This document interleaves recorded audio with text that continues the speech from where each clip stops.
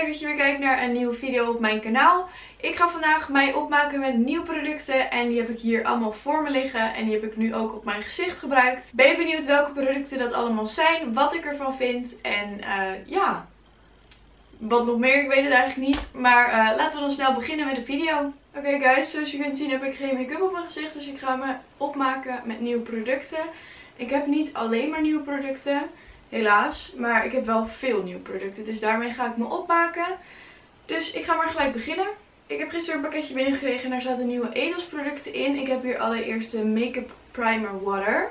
Zo ziet deze eruit. En het is dus een primer die je voor je make-up gebruikt. Even kijken. Oh, het, ruikt, het ruikt een beetje naar de fixing spray. Dus dat... Wow.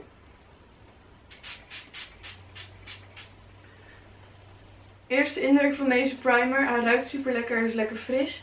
Maar um, als je een fixing spray bent gewend. Dan is het echt zo'n nevel of zo wat je overheen, over je heen krijgt. Maar dit is echt een straal of zo. Ik weet niet of je het kunt zien, maar ik ben ook echt helemaal nat. Maar hij ruikt dus wel lekker. Hij voelt nu ook wel lekker aan. Beetje jelly wel. Oké, mijn gezicht voelt lekker plakkerig aan. Dus dat is denk ik een goed teken. ga ik nu foundation aanbrengen. Ik heb helaas geen nieuwe foundation. Maar ik ga gewoon mijn combi gebruiken die ik de laatste tijd gebruik. Dit is de Glam Base Healthy Glow Foundation van L'Oreal. En de Match Perfection Foundation van Rimmel. En dit stukje zal ik wel eventjes doorspoelen, want uh, dit hebben jullie waarschijnlijk al veel te vaak gezien.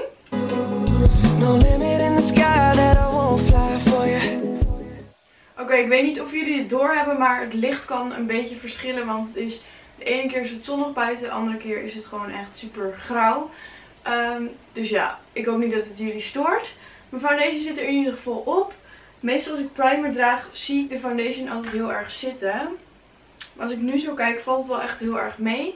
Dus dat vind ik een goed teken. Hij zit er goed op. Ik ga concealer nu aanbrengen. Ik heb ook geen nieuwe concealer helaas.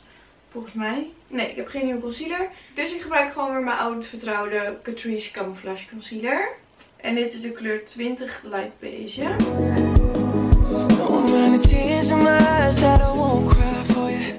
Nu zit mijn basis er eigenlijk op, dus dan kan ik verder met de poederproducten. Ik ga mijn gezicht dit keer niet afpoederen, want ik heb op dit moment echt een best wel droge huid.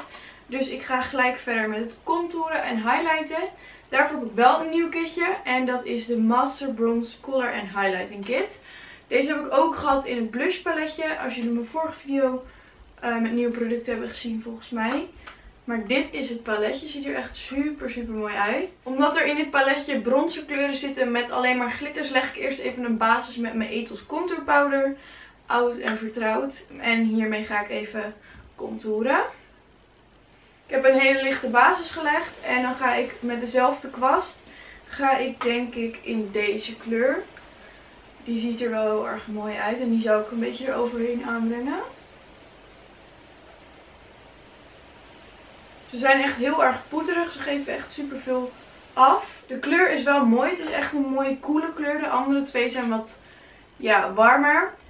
Zelf hou ik wat meer van koelere kleuren. Maar die glitters zie ik eigenlijk niet heel erg terug. Waar ik wel blij mee ben. Dus het ziet er wel oké uit. Oké, nou ik heb nu de bronzer aangebracht. Um, ik vind het er eigenlijk nog best wel oké uitzien. Zoals ik al zei, zie je die glitters niet heel erg. Dus ja, dat is voor mij eigenlijk wel een pluspunt. Misschien is het alleen zo'n spray over dat je alleen daarop glitters hebt. Maar ik vind het er pittig goed uitzien. Ik ben er echt blij mee. Nou ga ik natuurlijk de highlighter gebruiken waar ik het meest benieuwd naar was. Hij is wel echt heel erg goud. En ook wel echt heel erg poederig. Ik weet niet of je het kunt zien. Hij geeft ook echt heel veel poeder af. Maar ik ga hem gewoon gebruiken.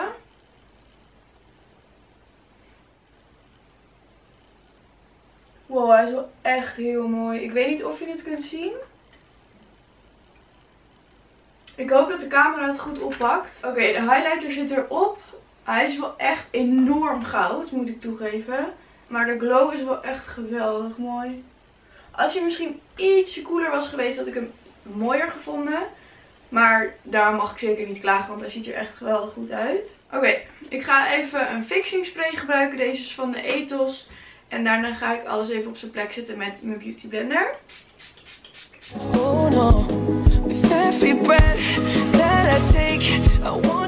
Ik zal nog eventjes mijn eindoordeel geven over dit paletje.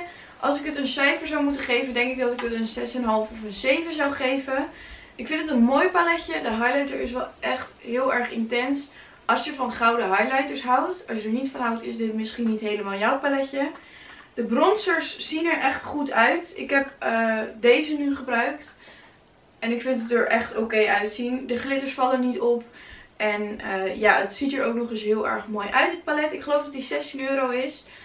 Het enige wat ik ook nog mis is een spiegel hierin. Het zou altijd wel heel erg handig zijn.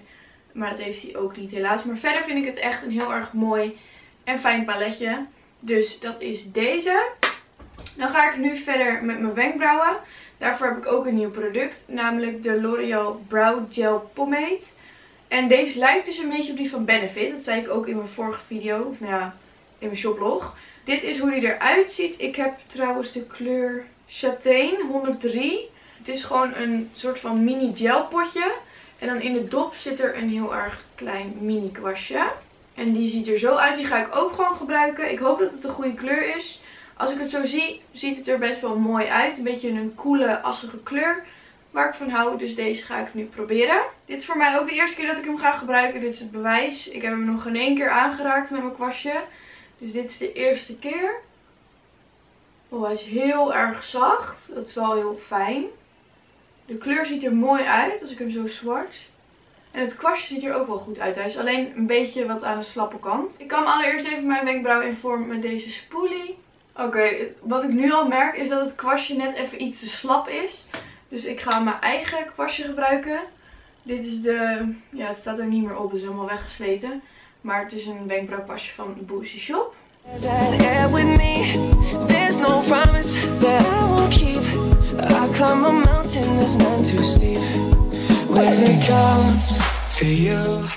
Ik heb nu beide wenkbrauwen gedaan met de pomade. Ik vond het op zich wel oké werk. Ik ben het wel iets anders gewend.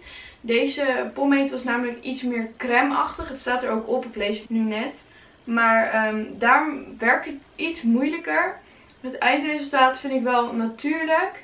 Maar omdat ik wat meer gel-achtige producten ben gewend, was dit wel lastiger om mee te werken.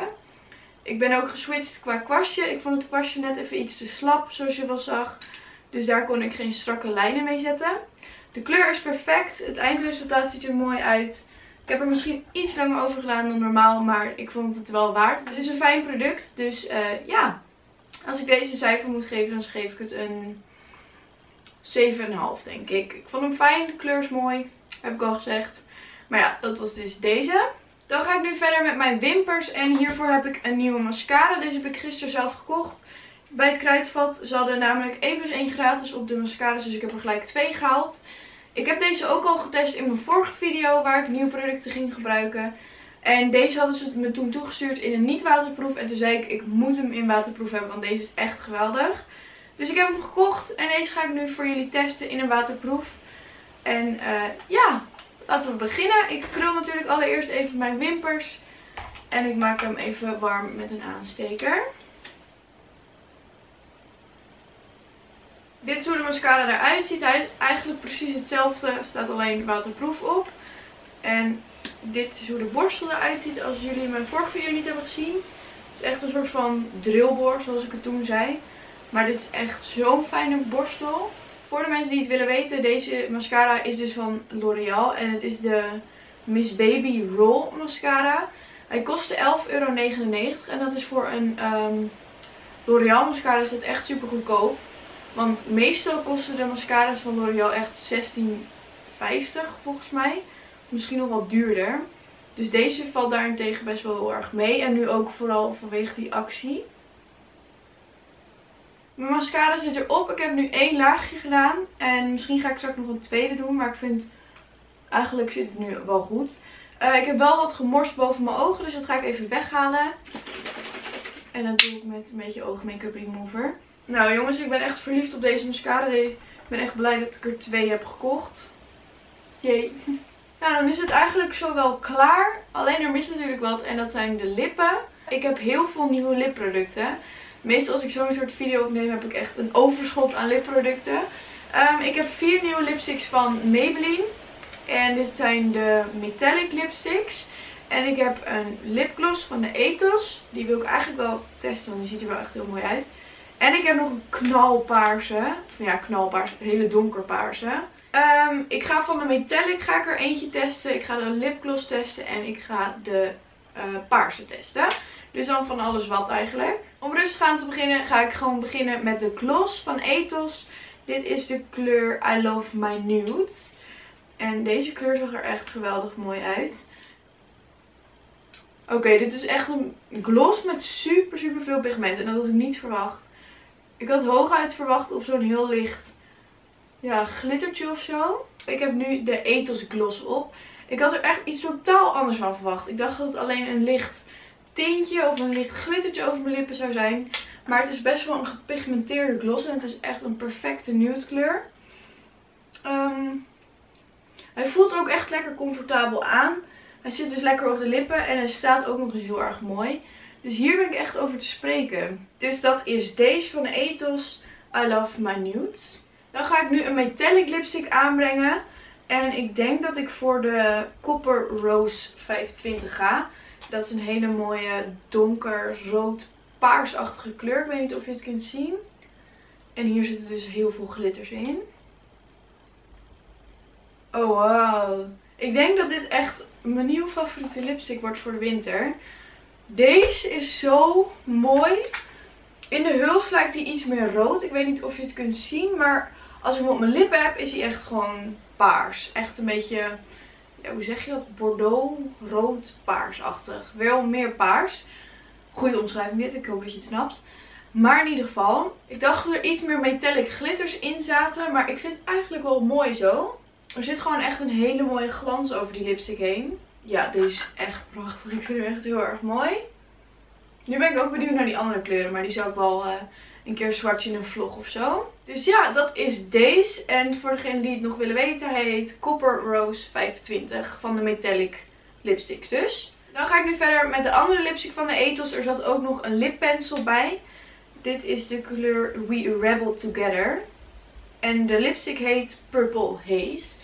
Dus deze ga ik nu aanbrengen. Allereerst natuurlijk de lipliner. Oké, hij is echt heel erg gepigmenteerd. Ik weet niet hoe duur deze is, maar het ziet er echt heel goed uit. Zo, ik heb nu even mijn lippen omlijnd. En dan ga ik hem natuurlijk invullen met deze kleur. Zo, zo benieuwd.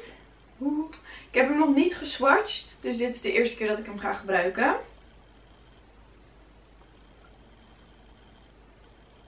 Oké, ik heb nu dus de paarse kleur op mijn lippen. Ik vind het best wel even heftig. De, want het is natuurlijk echt een hele opvallende kleur. De lipstick is alleen iets lichter als het lippotlood. Dus je ziet echt nog die lijn. En dat vind ik echt verschrikkelijk lelijk eigenlijk. Ik ga het nu even vervagen. In de hoop dat het mooi blijft. Maar... Oké, ik heb het nu een beetje vervaagd. Ik denk dat als ik mijn lippen helemaal had ingekleurd met het lippotlood. Dat het natuurlijk helemaal geen probleem was. Maar nu valt het wel op. Hij is best wel sheer. Het is niet een hele dekkende lipstick. Misschien ziet hij er wel zo uit. Maar ik moest er echt een paar keer overheen. Ik vind het een coole kleur, maar ik zou het echt niet zo snel naar buiten dragen. Ik zou die van Maybelline, die metallic die ik net op had, zou ik bijvoorbeeld wel dragen. Maar ja, ik weet niet. Ik vind het wel heel erg heftig. Normaal verkopen ze dit soort kleuren echt niet zo snel in een drogisterij. Dus uh, ja, heel erg leuk dat ze het nu bij de Ethos wel hebben. Ik weet niet hoe duur het precies is, maar ik zal alle producten trouwens wel even in de beschrijving zetten. Oké, omdat ik nog heel erg benieuwd ben naar de andere metallic lipsticks, ga ik er gewoon nog eentje testen. En ik ga nu voor de kleur Hot Lava 20. Dit is gewoon een rode kleur. Oh. Oké, hij is iets rozer dan ik dacht. Ik dacht dat het echt een rood was. Ook wel aan de naam te horen dacht ik echt dat het een rood was. Oké, deze kleur is ook echt prachtig. De kleur die ik nu op mijn lippen heb is dus Hot Lava. Ik vind dat de kleurtjes op de achterkant niet helemaal overeenkomen met de kleuren die op je lippen komen. Maar ik vind de kleur echt geweldig. Hij is niet heel erg metallic, net als de andere kleur. Maar hij is wel echt, echt heel erg mooi. Wel wat rozer, zoals ik al zei. Maar daarom niet minder mooi. Ik vind hem echt heel erg fijn. Dan waren dit eigenlijk alle producten al die ik heb getest die nieuw waren. Niet alles was nieuw, maar dat had ik ook al aan het begin van de video gezegd natuurlijk. Ik ben heel erg te spreken over de nieuwe producten. Dus ja, Heb je nog vragen over producten of over iets anders in deze video? Stel ze natuurlijk zeker in de comments. Ik zal proberen om jullie vragen te beantwoorden. Ik lees natuurlijk alles. Heel erg bedankt voor het kijken en tot de volgende keer. Doei! can we still be friends?